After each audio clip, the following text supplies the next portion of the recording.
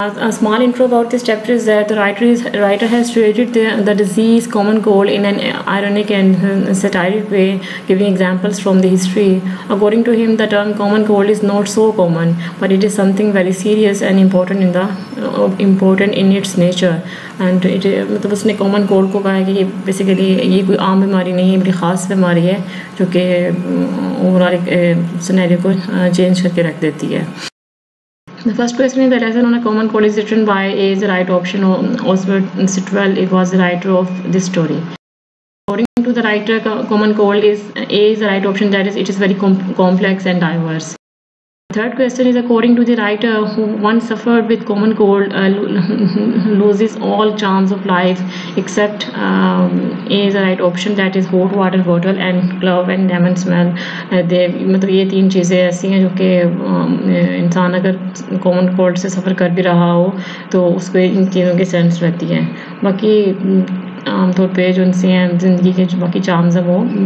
Lost हो जाते हैं according to the right B and C are not the right option it is not hot milk and cold water it is basically hot water bottle and lemon Fourth question is what does it mean that common cold changes the nature of manner? Uh, both A and B are the right option. Uh, that it makes social and friendly person unsocial and sol solitary minded, and B that it makes unsocial and solitary minded person genuine. Basically uh, वो कहना चाह रहा है एक, एक बंदा un, un, friendly है लेकिन फ्रेंडली है लेकिन कॉमन कोल्ड जब उसको सफ़र करेगा तो वो अनसोशल और अनसोशल हो जाएगा और उसको लोन लोनलीनेस पसंद पसंद हो जाएगी मतलब उसका ये इफ़ेक्ट होगा और बी बी के अगर वो अनसोशल है और अकेला रहना पसंद करता है तो वो एकदम से सॉफ्ट हार्टेड हो जाएगा और सोशल हो जाएगा और फ्रेंडली हो जाएगा. So B A and B both are the right option fifth question is according to the writer many common things partake of the nature of a uh, miracle b is the right option मतलब इसमें एक common cold uh, it is not uh, very simple मतलब it, it has the power of miracle मतलब इसमें miracle power है जो कि अगले बंदे के के मैनर को उसके उसके एग्जिस्टेंस को चेंज कर देती है जैसे एक फ्रेंडली बंदा तो वो अनफ्रेंडली हो जाता है अगर वो अनफ्रेंडली है तो वो फ्रेंडली हो जाता है so B is the right Sixth question is a cold is uh, B is right, right right options is protein amazing in, in its diversity uh, ये दो वर्ड्स उनसे हम राइटर ने यूज़ किए हैं बेसिकली अब प्रोटीन मीन्स के ये चेंज होता रहता है कॉन्स्टेंट वेरिएबल है so A considers that is non-variable and C the normal these are not the right options writer says common cold not only alters the very existence of person uh, who suffers from it but uh, but, uh, but B is the right option but also the appearance and feeling of it तो उसके appearance और उसकी शक्ल से पता चल जाएगा कि उसके कॉमन कोल्ड सफ़र कर रहा है और उसकी फीलिंग चेंज हो जाएँगी लाइफ के बारे में और अपनी अपने इर्द गिर्द के बारे में so B is the right option A and C are not the right option here eight question is what happen with common cold जो कॉमन कोल्ड सफ़र करते हैं what are the situation with that person all of the options are the right one that the very players of life are transmuted as a touch of which which finger and B is are cigarettes became become at the best tasteless c food holds no interest for us and d that is our, our animal appetites if we are wise become entirely centered centered on hot water bottles and hot punch so all of the options are the right one according to the writer uh, a suffered with common goal has, the following features. Ninth question is how the common goal uh, alter the spirit and the very nature of the person uh, person it, it attacks. B, both A and B are the right options. Those who have many friends are no longer eager to see them, and the the, the friendless and even the unfriendly at once become genuine. So both A and B are the right option here.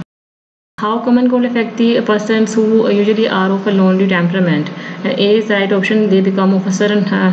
gregarious and player loving, afflicted with desire to visit theaters, lectures and concert halls. Um, वो एकदम से उनका एक social किस्म का mind हो जाता है so A is the right option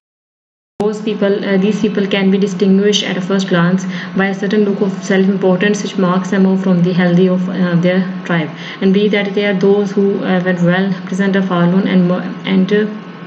meagre appearance are invested with a certain strange gradients मतलब एक उनके, वो कहना चाह रहा है कि उसके, वो एक अलग से नज़र आते हैं मतलब उनके शक्ल से पता लग रहा होता है कि कॉमन कोल्ड है, कि उनके रेड नोज़ हो जाता है, उनकी आँखों से, उनके बॉडी लैंग्वेज से आसानी से उनको बाकी लोगों, जो हेल्दी लोग हैं, उनसे उनको डिस्टिंग्विश किया जा सकता है। So A and B are the right option First question is uh, of traders, those most addicted to colds uh, as a habit are basically जो जो सबसे ज़्यादा एडिक्टेड हैं कोल्ड के लिए वो दो उसने बताया जो जो कि उसने टॉप पे रखे हैं that is hair dressers and waiters both A and B are the right option what is the uh, sequence in which common cold affect different people? Uh, मतलब अगर राइटर ने उनकी एक एक सीक्वेंस में बनाया कि किस तरह uh, ये कॉमन कोल्ड उनसे जो सबसे ज़्यादा अफेक्ट करते हैं उसके बाद उसने किसका नाम दिया इस तरह इस तरह। उसमें सबसे पहले उसने हेयर ड्रेसर्स एंड वेटर्स को रखा है, उसके बाद लर्गी man then ladies novelist and then chemist shop and then doctors A is the right option हाँ ये सीक्वेंस उनसे ये राइटर ने प्रेजेंट किया है as far as common cold is concern Green question why the writer said uh, hairdressers and clergymen the most addicted to cold as a habit uh, because uh, their work afford various and splendid opportunities of spreading infections basically उनका काम इस तरह का है कि वो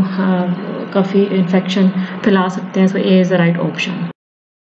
15th question is how the clergyman become addicted to common cold. B is the right option that because country uh, churches, country churches are to be considered as refrigerators in which germs can be preserved fresh and healthy during the week. because churches इस किस्म का माहौल होता है कि वो addicted हो जाते हैं common cold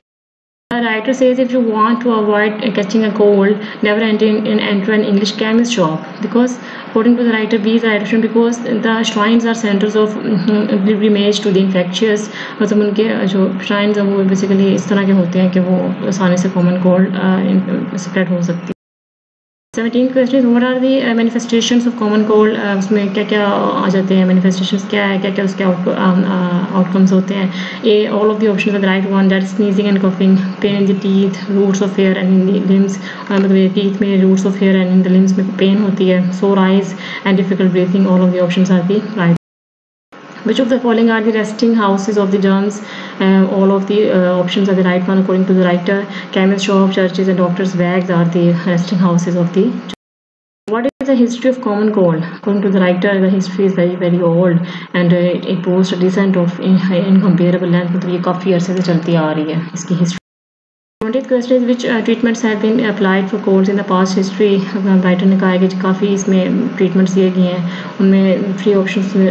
all of the three option are the right one according to the writer and option are rosemary roses has been applied during the Elizabethan period and later uh, bleeding has been applied as a cure for cold and C option is nowadays um, inoculation with uh, dead germs is applied all of the options are the right one According to the writer, who was the arch enemy of the England? That C is the right option. That is Emperor Napoleon.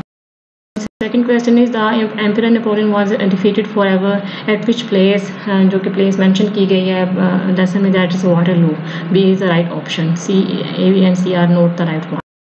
Third question is Emperor Napoleon was affected by A is the right option that is uh, defeated by sorry A is the right option that is common cold right के accordingly common cold ही एक ऐसी ऐसा जंग था जिसने Emperor Napoleon को शिकस्त दी question is who was the Kaiser in the lesson Kaiser का जो नाम मेंशन किया गया लेसन वो बेसिकली क्या था that is C is the right option that is he was biographer question is uh, what Kessler replied when doctor told that he was suffering from a little cold. Uh, Kessler replied that it is great cold. Nothing about me is little. little. B is the right option. Question is which of the following are the sufferer of the common cold? मतलब जो जो के नाम mention किए गए उसमें से the options are the right one. That is Emperor Napoleon, Kessler uh, जो कि was a biographer, and Hitler. तीन नाम उसमें मेंशन किए गए हैं जो कि सफरर थे common cold के. Whose role at the beginning of the foreign affairs was much more historic than the Kessler's. Uh, basically, A is the right option. Her Hitler, उसकी जो common goal that was more more serious than Kessler. what is the closing remarks of the writer writer ने closing remarks क्या किए इस lesson के A is the right option that is common indeed with, a, with such a history मतलब वो कहना चाह रहा है कि ये वाकई में ये कॉमन कॉमन कॉमन बीमारी है लेकिन सच अ हिस्ट्री मतलब कि जिसकी इतनी एक वास्ट हिस्ट्री हो क्या वो वाकई इसको हम कॉमन कह सकते हैं? सो according to writer it is not common it is very complex and diverse feeling और disease in the lesson who suffered from both common cold and hair and, and hoarseness hoarseness and that is a e option that is Hitler इसको ये दोनों situation को उसने suffer किया। Common cold ने affect किया।